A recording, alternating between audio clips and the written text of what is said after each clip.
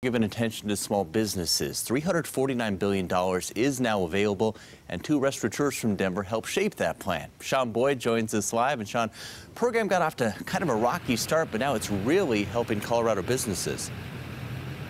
Uh, Dominic, the Small Business Administration had just seven days to implement this massive program. And to give you an idea of demand in Colorado alone, it has approved more than 28,000 loans worth nearly $6 billion. The two restaurateurs who helped create the program are among those to benefit from it, hiring back hundreds of their workers to mass produce meals for the needy.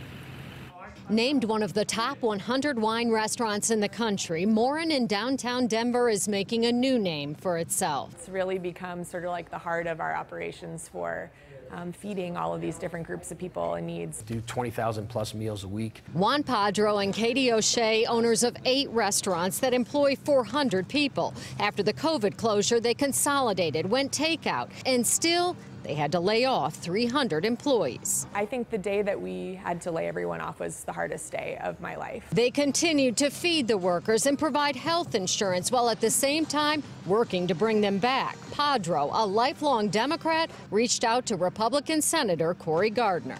Cory was was the one that was willing to talk. You know, we spent hours and hours and hours every day. Crafting a loan forgiveness program that's become a godsend to small businesses. They really have made a difference nationally in the kind of policies that's going to save this economy. The Paycheck Protection Program allows owners to borrow money for payroll only for eight weeks. If they keep their workers, the loan is forgiven. We are working around the clock. Dan Nordberg, Regional Director of the Small Business Administration, which is implementing the program, says they got as many loan applications in one week as they do in a typical year. We do have a new gateway for those applications that has been very much streamlined. O'Shea and Padro among those who've received a loan and have already hired back most of those laid off. You know, everyone just wants to like hug and you're like, oh wait, we can't hug, but it's so good to see you.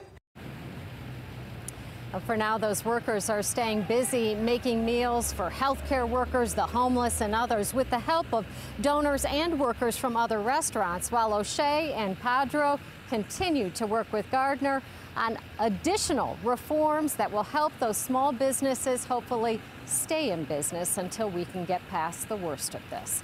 Live in Denver, Shaun Boyd covering Colorado First. Thank you, Shaun.